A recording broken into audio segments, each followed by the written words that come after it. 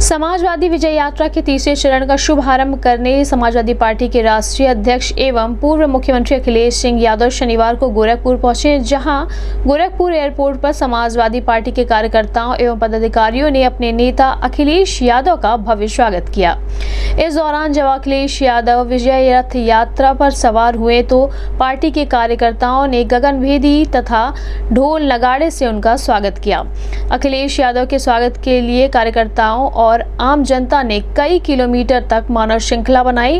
इसके बाद एयरपोर्ट से स्वागत के बाद पूर्व मुख्यमंत्री अखिलेश यादव ने ज़ीरो प्वाइंट कोनी पर जनसभा को संबोधित किया और उसके बाद उनका विजय रथ यात्रा कुशीनगर जनपद के लिए रवाना हो गया। इस दौरान समाजवादी पार्टी के राष्ट्रीय अध्यक्ष अखिलेश सिंह यादव ने कहा कि सपा की सरकार बनने पर किसानों को सम्मान दिया जाएगा, फ़सल का सही मूल्य मिलेगा तथा नौजवानों को नौकरी दी जाएगी तथा महिलाओं को पेंशन और सुरक्षा दी जाएगी तथा सभी वर्गों का सम्मान होगा। उन्होंने बताया कि समाजवादी सरकार आने पर किसानों, नौजवानों, बुज़ुर्गों तथा महिलाओं समेत सभी वर्गों का ध्यान रखा जाएगा। इस संबंध में गोरखपुर न्यूज़ से बात करते हुए समाजवादी पार्टी के एडवोकेट संतोष संतोष यादव पूर्व जिलाध्यक्ष अवधीश यादव पार्टी के एससी एसटी के प्रदेश अध्यक्ष व्यास जी गौर तथा समाजवादी छात्र सभा के प्रदेश अध्यक्ष दिग्विजय सिंह देव ने कहा।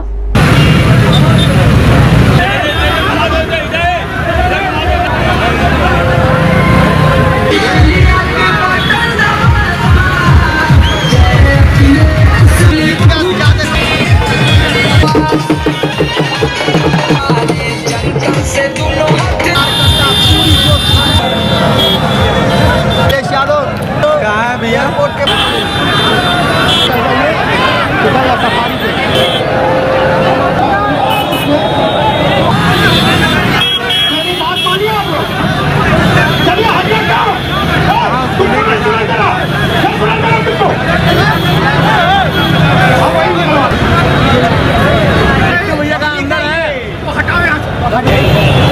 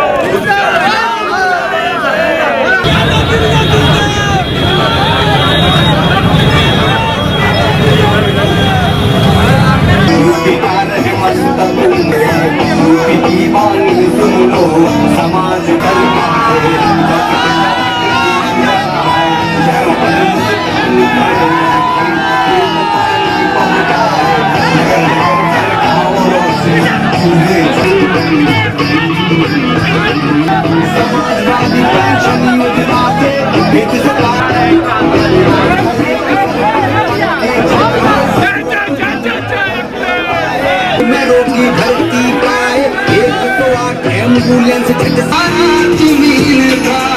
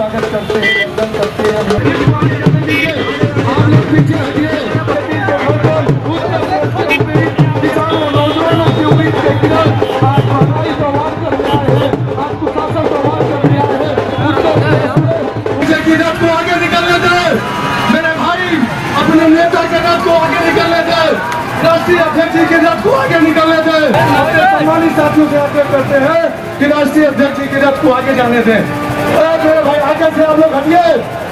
मेरे भाई मेरे भाई ग्राम सभा में हम अपने मकसूदन मौर्य जी की तरफ़ से जो यहाँ के प्रधान है उनकी तरफ़ से हम स्वागत करते हैं वंदन करते हैं अभिनंदन करते हैं। माननीय राष्ट्रीय अध्यक्ष जी की गाड़ी को आगे निकलने दीजिए। हम सब माननीय अध्यक्ष जी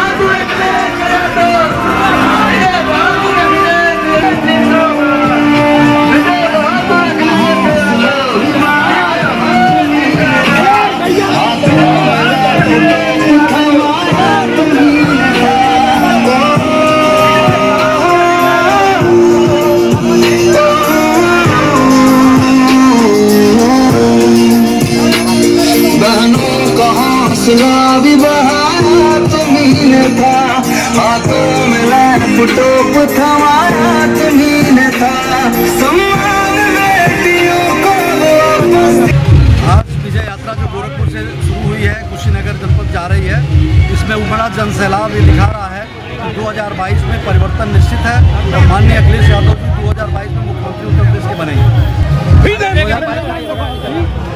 2022 के चुनाव में अगर हमारी सरकार बनेगी तो सबको रोज़गार से लेकर के और लाइन ऑर्डर से लेकर जो आज उत्तर प्रदेश में एकदम खत्म हो चुका है, सारी व्यवस्था पुनः बहाल होगी और गोरखपुर ज़िले में जहाँ के मुख्यमंत्री होने के बाद भी जहाँ का विकास नहीं हुआ है, उसको समाजवादी पार्टी विकास करके दिखाएगी। संतोष यादव एडवोकेट ये समाजवादी विजय रात यात्रा है और इसमें जो आप जनसमूह देख रहे हैं, ये युवाओं का जनसमूह बिना बुलाए अपने परिश्रम, अपने खर्चे से आया हुआ है। ये हमारे नेता माननीय अखिलेश यादव जी की लोकप्रियता है और भारतीय जनता पार्टी के कुशासन से जनता त्रस्त हो गई है। आने वाले 2022 में ये जनसैलाब बता रहा है कि माननीय अखिलेश यादव को मुख्यमंत्री बनाने के लिए आतुर है। उत्तर प्रदेश में 2022 में समाजवादी पार्टी की सरकार बनेगी। माननीय अखिलेश यादव जी मुख्यमंत्री बनेंगे। ब्याजी गौड़ एस सी के प्रदेश अध्यक्ष। ये आज जब सलाह बता रहा है तो जोगी जाने वाले हैं, सपा आने वाली है। ये झूठे के सरकार, किसान विरोधी सरकार, एस सी एस टी विरोधी सरकार ये सभी विरोधी एकजुट हो गए हैं, इनको विदाई तय हम दो हज़ार बाईस में हम सपा सरकार बनाने जा रही है। आप फुल बहुमत से। नाम मेरा दिग्विजय सिंह देव, प्रदेश अध्यक्ष समाजवादी छात्र सभा।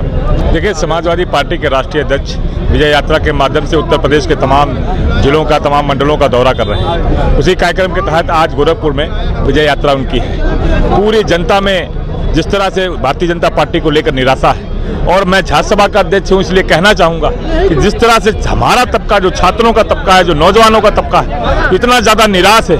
चाहे बेरोजगारी हो, चाहे दलित छात्रों की ज़ीरो फ़ीस का एडमिशन ना हो, चाहे जो परीक्षाओं में हिला हवाली की गई हो। जिस तरह से नौकरियों में, भर्तियों में भ्रष्टाचार किया गया हो, उनहत्तर हज़ार भर्तियों में जो है भ्रष्टाचार किया गया हो। सारी वैकेंसियाँ आधे से ज़्यादा जो रद्द की गई हो, और ना जाने कितनी सारी भर्तियाँ अटकी हों। पूरी तरह से छात्र नौजवान परेशान है और आदरणीय अखिलेश यादव जी की तरफ़ मुँह उठाकर ब्रेखा हुआ है। वो चाहता है कि आदरणीय अखिलेश यादव जी आए और जिस तरह से छात्रों, नौजवानों की बात हो रही थी, जिस तरह से उनके बेहतर भविष्य की बात हो रही थी, लैपटॉप की बात हो रही थी, कॉलेज की बात हो रही थी, मेडिकल कॉलेज की बात हो रही थी, मेडिकल सीटर्स की बात हो रही थी, नौकरियों की बात हो रही थी, यूनिवर्सिटी की बात हो रही थी, उन सभी बातों पर ये उत्तर प्रदेश सरकार के अंदर समाजवादी लोग बैठे आदरणीय अखिलेश यादव जी मुख्यमंत्री बने और एक बार पुनः छात्र और नौजवानों की सरकार बनकर उत्तर प्रदेश में काम करना शुरू करें।